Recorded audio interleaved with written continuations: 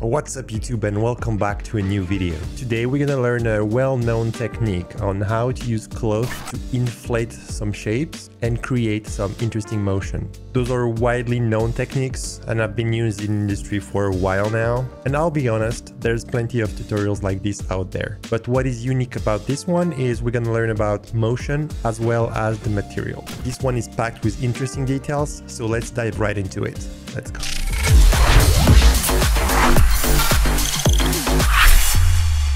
Let's start by creating a cube. Shift A, mesh, cube. We're gonna make it bigger on the X. I'm using the handles or you can use SX, works too. Something like that. Control AS. I'm gonna open a geometry node panel here and I'm gonna click on new. I'm gonna add a node with Shift AS called mesh to volume that's gonna take our mesh and transform that into a volume. I'm gonna add a distribute point on volume. So that we start distributing points into the volume. We'll play with the density later. Then shift A S instance on points. Like that here. I'm gonna need a instance and I will use a icosphere. I'm gonna plug the mesh to the instance. Now I have a bunch of icosphere. These are a little bit too big. So I'm gonna go with 0.7 maybe. And I'm gonna increase subdivision to 3. I also want them to have random value scale. So I'm gonna add a random value node and plug that into the scale and for the minimum I want 0.6. They are intersecting a little bit too much, so we're gonna use a merge by distance node. Shift A, S, merge by distance, and we're gonna plug that right after the distribute on point.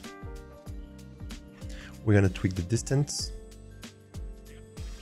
maybe 1.5. I want to add a shade smooth, set shade smooth.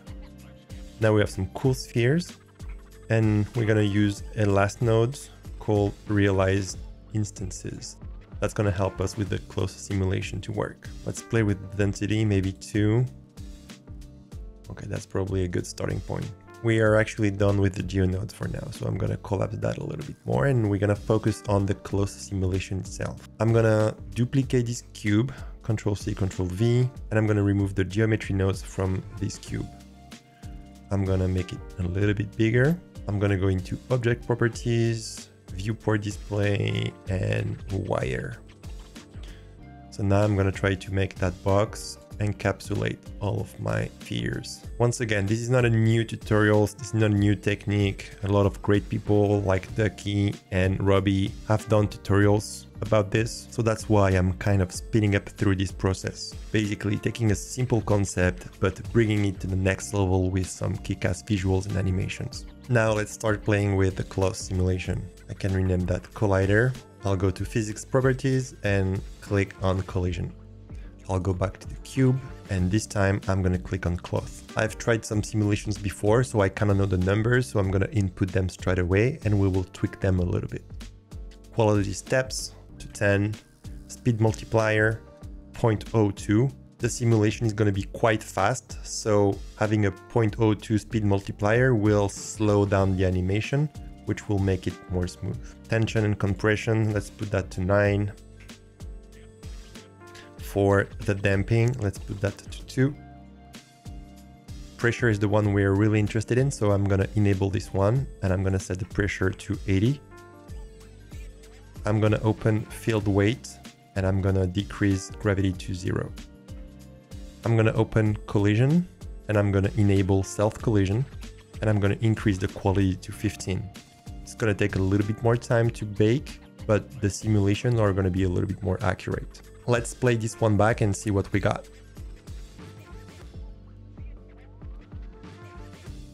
The collider is not working, so let's work on this one. I'm gonna click on collider. I'm gonna hit tab 3A I'm gonna type F3 and flip normals. Boom. Rewind, play back again. So now my sphere are colliding with the collider. This is pretty cool already and you can likely leave it at that, but I would like those spheres to squish a little bit together. So I'm going to use a force field called Vortex. Shift A, force fields, and Vortex. I'm going to set a strength to 60.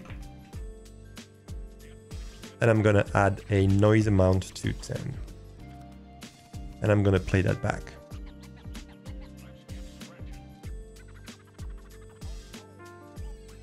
So now those spheres are getting closer together. I'm going to rename this cube to spheres, GN for geonodes. I'm going to go to the modifiers and I'm going to add a sub-D surface. So when those balls are squishing together, I have a little bit more definition.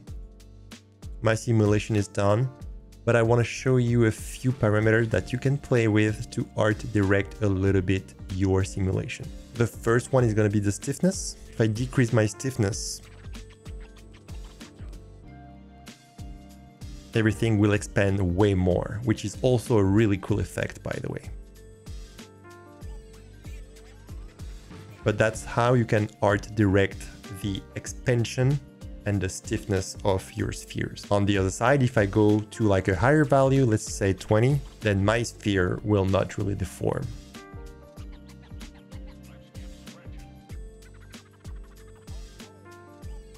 It's also a really cool effect if you want to represent a stiffer vibe. The other one is the pressure. This is how much the initial sphere will expand. I have 80, but let's try something nuts like 200 and see what that does.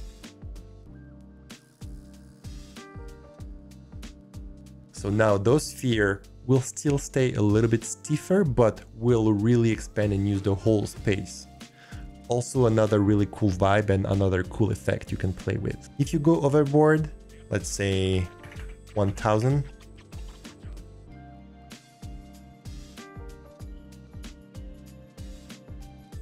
you will start to have some weird stuff happening with your spheres, which can be a cool effect too, by the way. It all depends on what you're going for.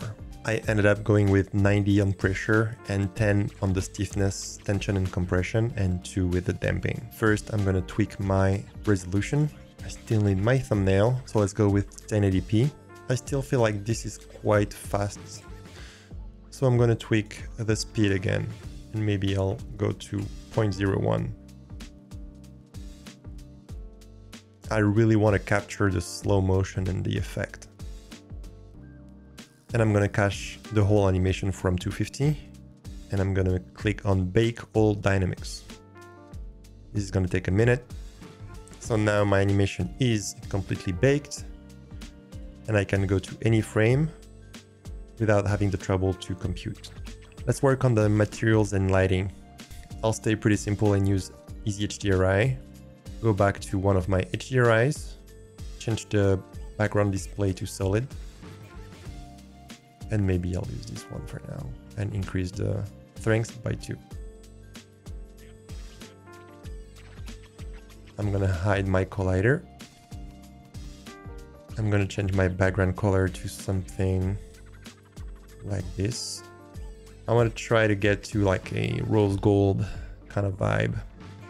I'm gonna go to material properties, new material, rose gold. If I start changing the color, you can tell the sphere are not affected is actually because in geometry node, don't forget to select geometry nodes. I need to add a set material at the end and I'm gonna select my rose gold and now things are working. Let's go back to the shader editor. We're gonna use a Fresnel node to drive a few things. Fresnel base color. I want to drive the color as well as the roughness with that. So I'm going to set that to 1.6 and I'm going to add a color ramp. I'm going to duplicate that, plug that to the same input and put that into the roughness. For the roughness, what I'm going for is something polished around the edges and quite rough in the middle. So I'm going to move my sliders around until I get that effect. Feel free to get out of the camera to have a better view of what you're doing. And I'm to squeeze that. I'm also to work on the colors. That looks pretty cool. Maybe let's tweak that a little bit. Something like this here. Let's try a different color for that. And I'm gonna turn the metallic to one. Boom. I'm gonna tweak the roughness a little bit more. I really want that to be around the edges. And I'm gonna change my background color too. I'm gonna rotate my HDRI a little bit that's pretty cool. Let's play back our animation.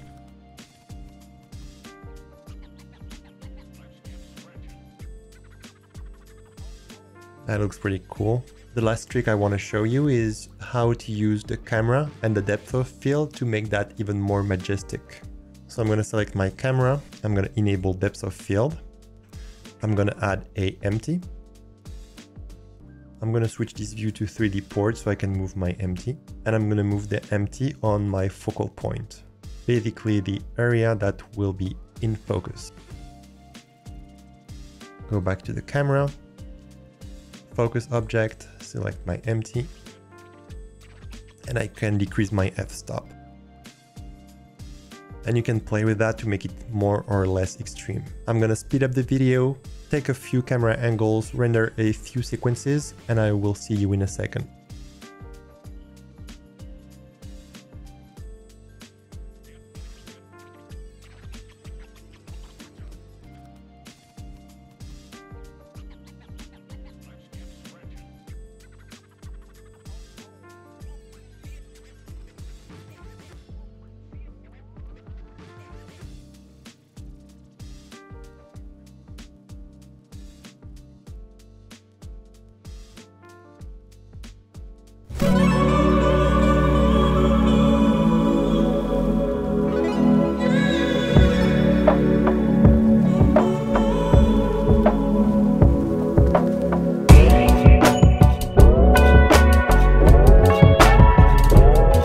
You for following and I hope you learned a few things. This one was a really fun one. Don't forget to like, comment and please subscribe to the channel and I will see you in the next one.